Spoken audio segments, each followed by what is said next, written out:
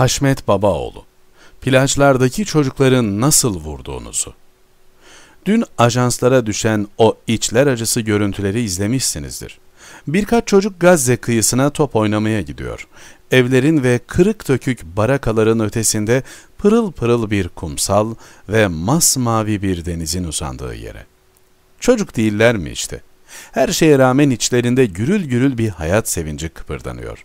Topun büyülü dünyasına kapılıp acılardan azıcık uzaklaşacaklar. Fakat ileride İsrail donanmasına ait bir gemi var. İlk top atışını kıyı çizgisine yapıyor. Çocuklar şaşkın. Dört bir yana kaçışmaya başlıyor. İkinci atış geride kalan dört çocuğu vuruyor.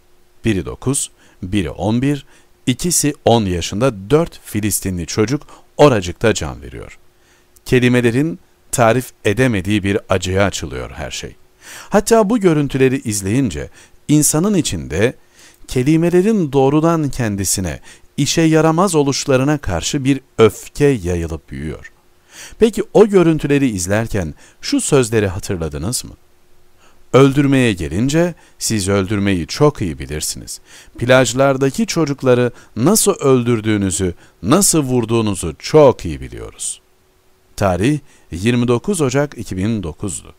Davos'ta Dünya Ekonomik Forumu'nda düzenlenen Gazze, Orta Doğu'da barış panelinde Başbakan Tayyip Erdoğan, konuşmacılar üzerinde baskı kurmaya çalışan İsrail Cumhurbaşkanı Perez'e dönüp bunları demişti. Olay hep one minute sözleriyle anıldı ve zihinlere öyle kaydoldu. Fakat bu bir yönüyle eksik ve yanıltıcıydı. Çünkü Erdoğan'ın sarf ettiği sözler one minute'ten öteye uzanıyordu. Şimdi yeri geldi. Tekrar dönüp o sözleri hatırlamakta yarar var. Erdoğan'ın konuşmasında bu zulme alkış tutanları da kınıyorum diyerek yönetimleri ve medyasıyla zulme destek çıkan Batı'yı da hedef almış, ardından bu çocukları öldürenleri alkışlamak insanlık suçudur demişti. O kadarla da kalmamıştı Erdoğan. İsrail Cumhurbaşkanı Perez'e kutsal kitaplarındaki öldürmeyeceksin buyruğunu hatırlatarak en ağır darbe indirmişti. Erdoğan'ın sözlerinde ifadesini bulan gerçeğin bir kırılma noktası, bir uyanış anını oluşturduğunu 2009'da fark edemedik belki ama yarın öbür gün anlayacağız. Bu bütün dünya için geçerli. Nitekim artık sıradan insanların vicdanı isyan ediyor. Tümüyle İsrail'den yana ve Filistin gerçeklerini perdeleyerek haber yapan Batı medyası ilk defa sokaklarda bu kadar geniş biçimde protesto ediliyor. Hava döndü dönecek.